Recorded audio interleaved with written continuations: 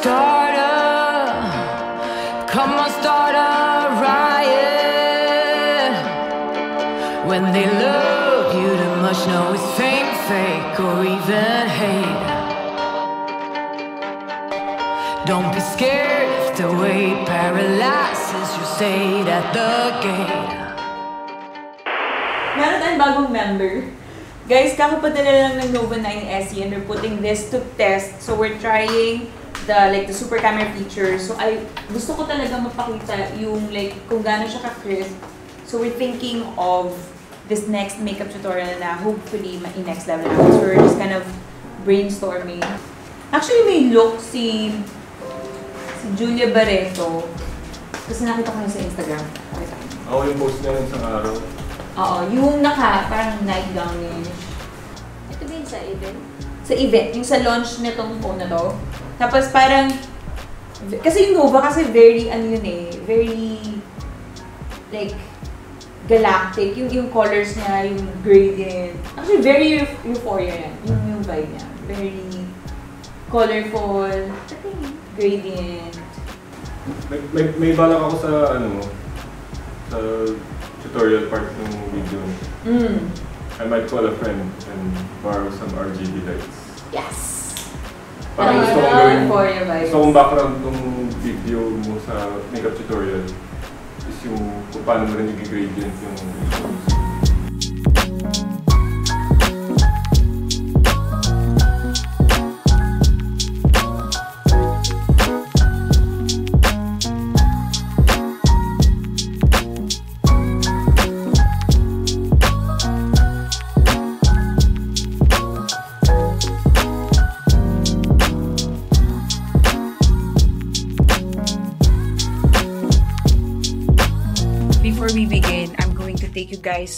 through the studio and the preparation. So, dito tayo mag-shoot sa studio.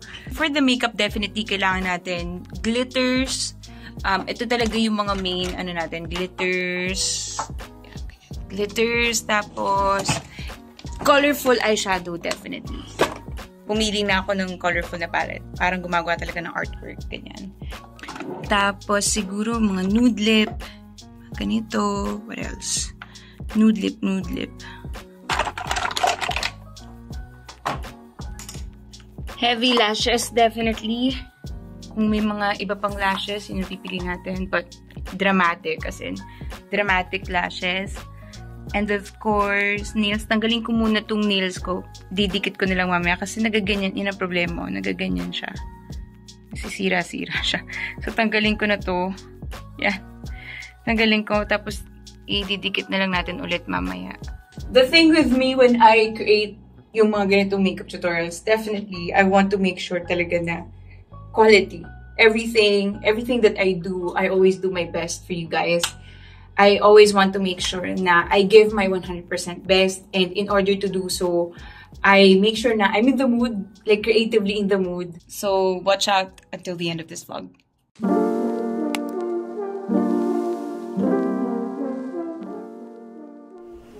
Just like any look, a good base preparation makes everything else easier.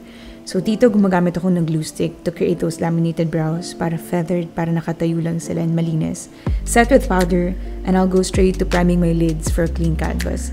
Itong pag-prime na to importante para talagang lumabas siya mag-pop yung colors or yung mga shadows na ilalagay natin later on. dito yung playful na part and very, very exciting kasi sobrang colorful ng eye, sobrang playful. So, I'm actually going to start with a colored pen. This is just to map out the look. Para alam ko kung saan ako mag-place ng colors. And importante na sa part na to, map out na color when your eyes are open para kita siya when your eyes are open. Pinili ko yung teal na color to start. I want this as the base because I wanted to complement on the blues and purples that we're going to apply later on.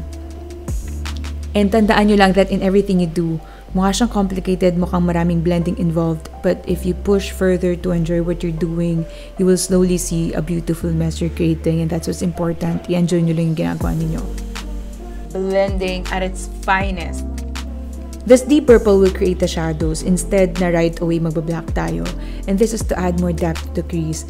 Just remember lang na wag i-overblend this with the blue shade and just marry them together nicely.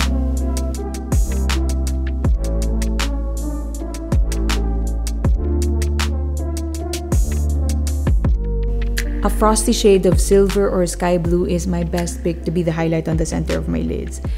Yung silver and this metallic shade will make it pop and shine at saka ibibigay talaga yung vibe ng Milky Way.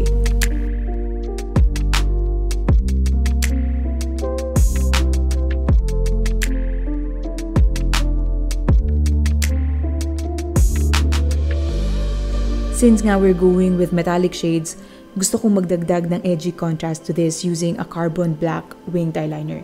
And I know for sure that this will immediately elevate your mood as in feel mo talaga you're getting fiercer and fiercer and this will complete the look for more definition sa mata. Meron akong trick na ginagawa in which I retouch my makeup using my phone as a mirror. This makes sure that the colors are showing at saka yung shadows nagre-register siya sa lens ng camera and you'll immediately notice how the depth will change at saka talagang ma-enhance yung definition ng eyeshadow work.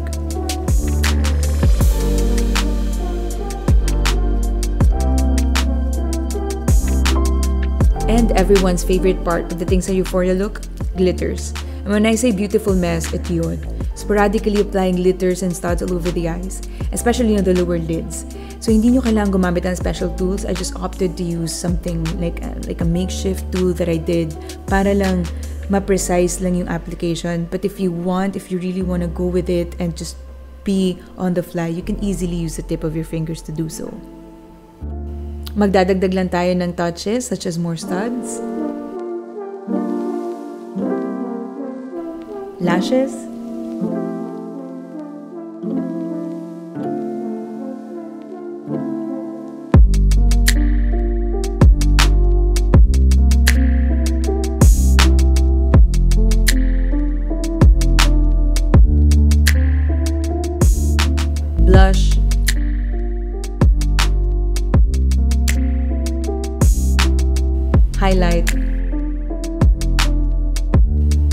classic nude lip.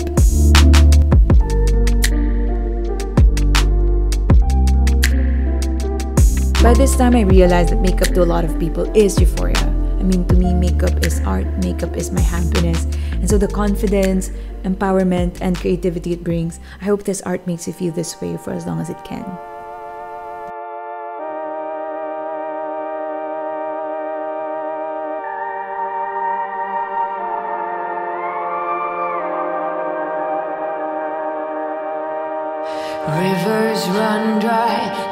Dust breaths in the air. Two dark days, do you have a tear to spare? Make a promise, the world awaits. It's heavy just breathing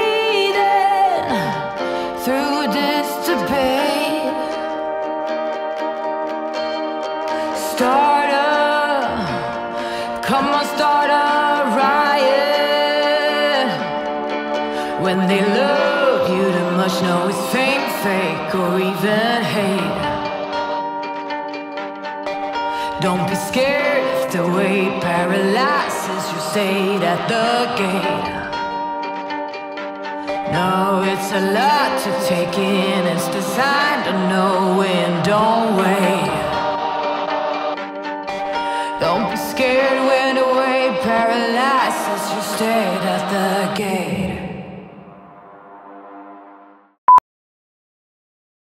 So we are... Casual lang!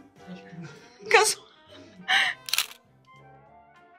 I'm taking you guys uh, like behind the scenes. So I am always doing my assignment to be in the mood. So nanonood lang ako ng mga like behind the scenes, yung music video ni Zendaya, lots and lots of extensions. And, hindi ko pa binubura makeup ko but para may idea ko yung gano'ng kadaming glitters yung nasa katawan ko ngayon. A lot. A lot, a lot.